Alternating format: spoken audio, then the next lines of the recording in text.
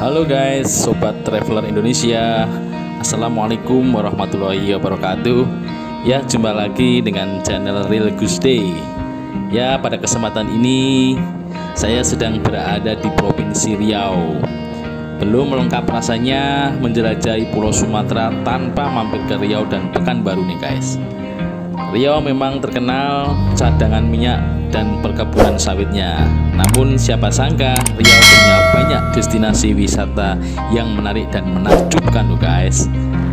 Penasaran seperti apa dan di mana saja lokasinya? Ayo ikuti terus perjalanan ini.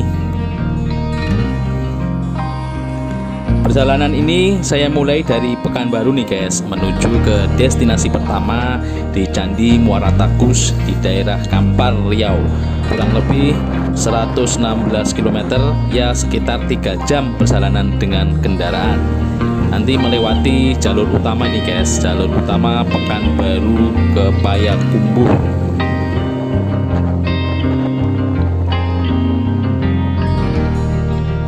Ah, capek juga di Candi Muara Takus. Ya, selamat datang. Kita langsung masuk aja, guys. Uh.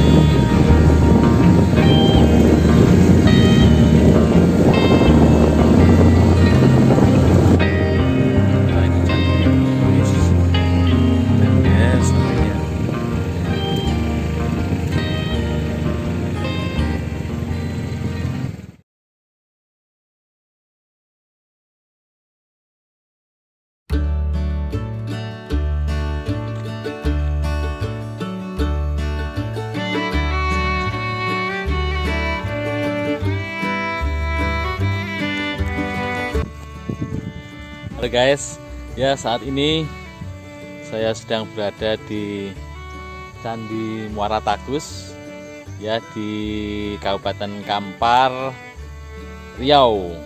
Nah, saat ini hari Senin, jadi pengunjung ya tidak begitu ramai.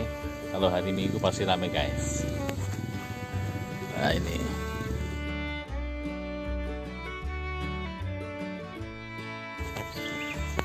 Ya kita sedang berkeliling di Candi Muara Takus. Wah, candi ini terbuat dari batu bata merah nih guys. Tidak seperti candi-candi di Jawa Tengah yang terbuat dari batu. Nah, ini merupakan candi peninggalan kerajaan Sriwijaya. Candi Muara Takus ini terletak di desa Muara Takus, Kecamatan Koto, Kabupaten Kampar. Ini merupakan candi Buddha tertua di Indonesia yang ditemukan di Sumatera. Hal ini dibuktikan pada bentuk stupa yang merupakan lambang dari Buddha Gautama.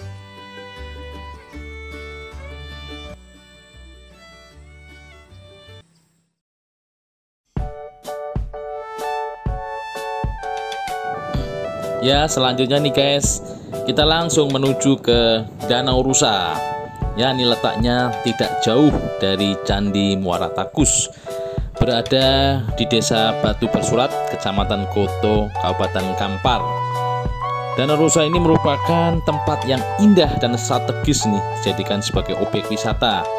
Apalagi ketika senja tiba, pengunjung dapat menikmati indahnya senja seolah membuat kesusukan tersendiri saat memandangnya.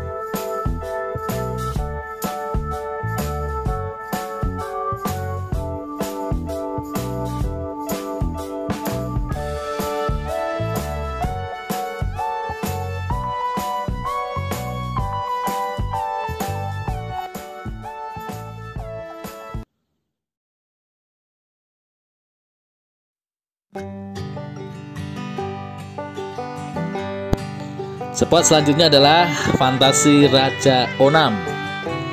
Bila impian pengen ke Raja Ampat Papua belum kesampaian nih guys, mungkin teman-teman bisa berkunjung dahulu ke Raja Ampatnya Kampar Riau. Ya meskipun tidak sama persis, tetapi panorama alamnya menyerupai Raja Ampat. Perbedaannya kalau Raja Ampat Papua gugusan pulau-pulau kecil ini dikelilingi oleh lautan yang biru dan indah Sedangkan di sini gugusan-gugusan pulau kecilnya berada di danau buatan. Objek wisata ini selalu ramai dikunjungi nih guys. Wisatawan saat pagi dan sore hari karena memang banyak spot-spot foto yang keren dan instagramable nih dibalut dengan panorama alamnya yang indah menakjubkan. Lokasinya terletak di desa Pulau Gadang kecamatan Koto Kampar Kabupaten Kampar.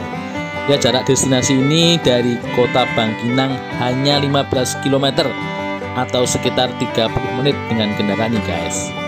Tiket masuk 15.000 kita bisa puas foto-foto menikmati keindahan alamnya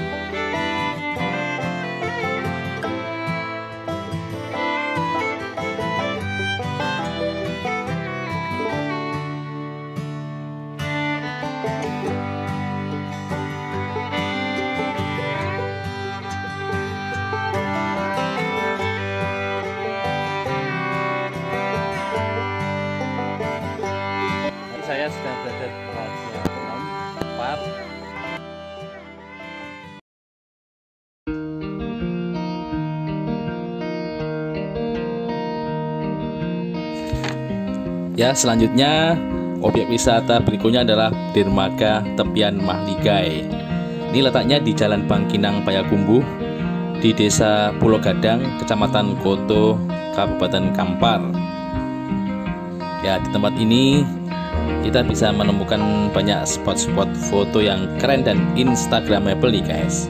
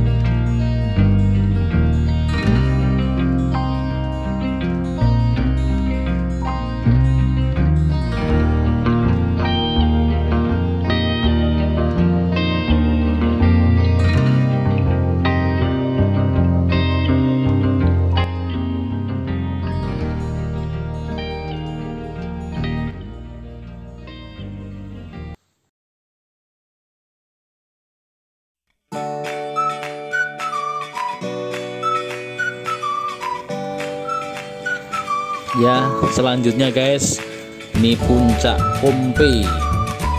Masih di Kecamatan Koto, Kabupaten Kampar, tidak jauh dari Raja Onam. Puncak Kompe ini salah satu spot wisata alam yang makin populer di Kabupaten Kampar Riau. Panorama alamnya mirip dengan Raja Ampat di Papua Barat, guys.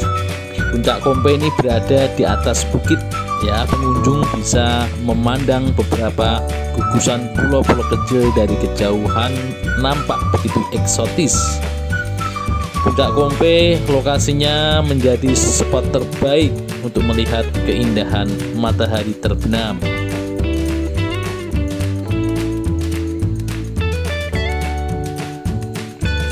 Tiket masuknya 15.000 nih guys wisata puncak Kompe ini juga tidak sekedar menawarkan panorama alam yang begitu indah tetapi juga suasana di puncak terasa sangat sejuk dan menyegarkan tubuh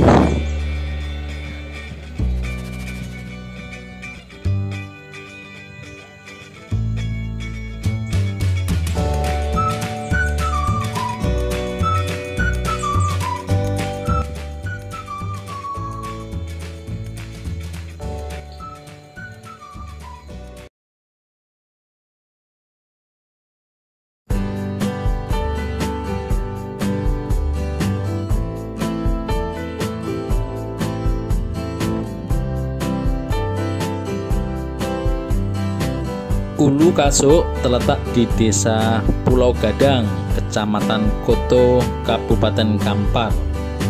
Lokasinya ini tidak jauh dari jalan lintas Sumatera nih guys, jalan lintas Bangkinang Payakumbuh. Ulu Kaso ini juga sering disebut Raja Ampatnya Riau.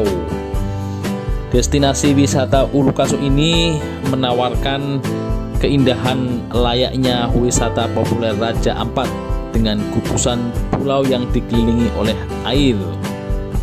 Dari atas bukit, Ulu Kasuk sangat mirip dengan Raja Ampat yang penuh pulau karang yang dibalut air yang biru. Letaknya bersebelahan dengan Raja Onam dan Puncak Kompe.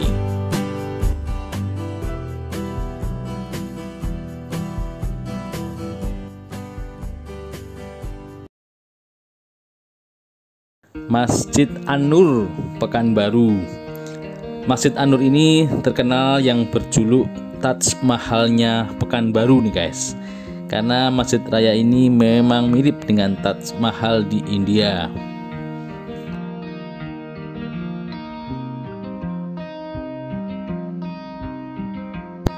Bukit Rainbow atau Bukit Pelangi.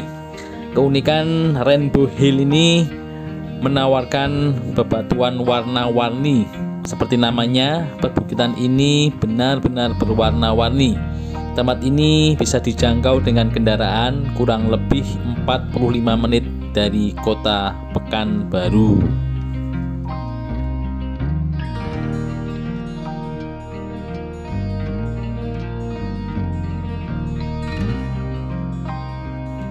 Ya, selanjutnya nih guys, Bukit Kapur Air Hitam Pekanbaru. Lokasinya berada di dekat kota Pekanbaru, Riau. Spot wisata yang keren dan instagramable ini guys.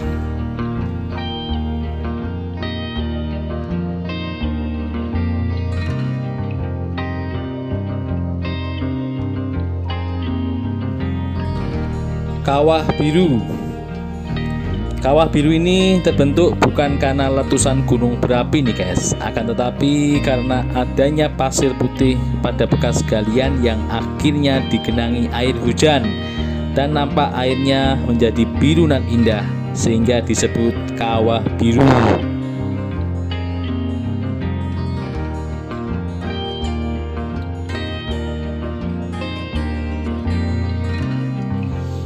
Belum lengkap rasanya ke Dumai kalau belum mencoba kuliner di Kampung Nelayan Resto. Tempat makan keluarga dengan pemandangan laut Dumai. Spesial ikan fresh yang dapat dipilih-pilih langsung dalam akuarium dengan berbagai masakan khas Nusantara ini guys. Oke guys, sampai di sini dulu perjumpaan kita. Terima kasih sudah menonton. Wassalamualaikum warahmatullahi wabarakatuh.